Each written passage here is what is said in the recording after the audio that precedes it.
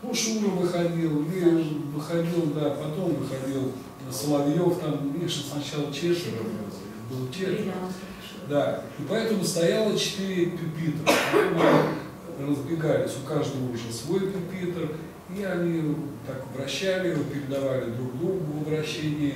И получилась такая как бы а, акробатическая эксцентрика, но с, с использованием не музыкальных предметов, а вот этих пюпитров. Кто знает, может это тоже да, музыкальный эксцентрик. Понятно. Здравствуйте. Прошу извинить. Эквилибр, соло. Давай, бери уже, беги. Например, играть на каком-либо музыкальном инструменте, стоя на катушках, на свободной проволоке, прыгая на шесте, удерживать равновесие на штейн-трампе, сидя на стуле и играя на скрипке, как это делал, делала Варлей. Играть на трубе, стоя на штейн-трампе, на ногах, голове или одной руке, как это делал Бацароков. Ну, кстати, вот этот вот Бацарока, здесь есть его фотография, вот, Бацароки. Он был в генной специализации. Он очень хорошо играл на трубе. На трубе. И мы решили соединить игру на этой трубе э, с, с этой вот со штейн тропе. Я сам не ожидал. Я сам работал вообще турнистом, турнистом. Вот. И ну что такое резинвель? Резинвель, понятно, это обороты. Солнышко, так сказать, еще иначе. И то, что он сделает на этой штейн-тропе, тоже резинвеле, для меня это было просто неожиданность. И он делал, я считаю, уникальный трюк, вот, и то благодаря своим таким каким-то необыкновенным способностям. Он стоял Капштейн на этой штейн-тропе. Штейн-тропе была в каче, еще она была закручена, то есть в момент кача, стоя Капштейн, еще вращался вот так вот вокруг себя и играл на трубе авиа мистера Икса. Я помню, мы с ним еще это репетировали. А? Репетировали его, помню, в манеже, на парадном. Я помню. Да. Вот. Да. Ну, это, ну, конечно, к сожалению, он сам недолго проработал.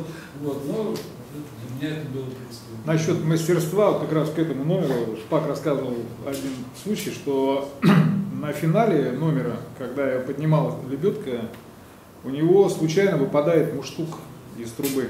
А нужно было закончить на какой-то очень высокой ноте. И он без муштука все-таки выдувает эту ноту, то есть как бы номер не завалил. Этот, хотя, казалось бы, как без муштука можно сыграть. Вот по поводу того, что, что он, как, как он играл на трубе что музыканты тебя поймут. Ну, как, как мог, так и играл. Ты хотел сказать, что он показал Нет, высокий он, профессионализм, Конечно, да? да, что он не играл раньше на, на трубе за, до циркового училища.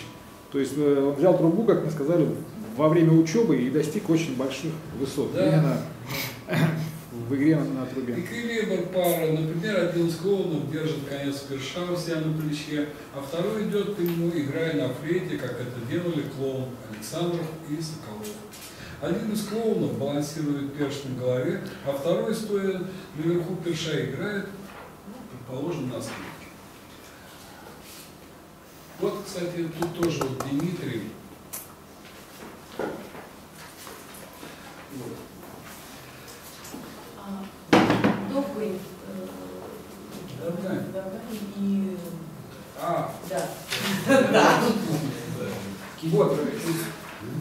Тут, кстати, это они сам написали на буклете, как раз Женя Чернову, это мы работали в, это сам, в поездке там, Канада и Америка, вот там сделали вот замечательный буклет, и нам, ой, как нам было обидно, но мы до этого работали в Польше, в Польше, представляете, мы работаем в Польше, и вдруг ребята, вот эта тройка, они, они же в нашем коллективе, вдруг они куда-то собираются. Куда-то собираются. Оказывается, их пригласили во Францию, во Францию, на какой-то фестиваль. Вот с этим номером. Потому что был очень действительно ну, хороший.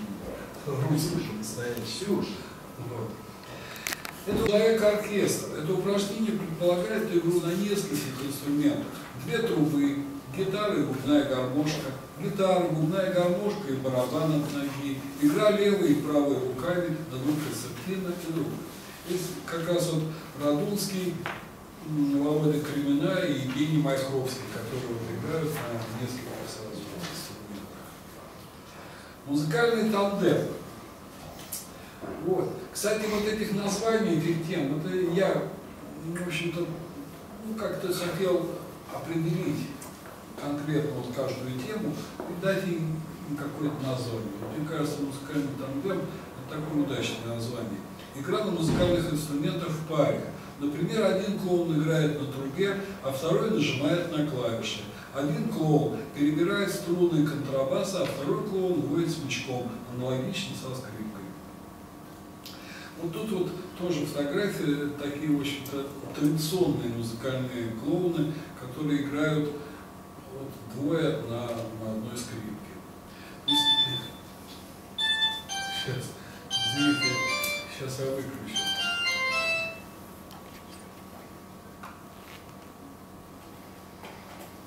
Пустить петуха. В задачу упражнений входит имитация на музыкальном инструменте человеческой речи, музыкальный диалог, звукоподражание животным, имитация, имитация механических шумов, звуки идущего поезда, летящего самолета и других.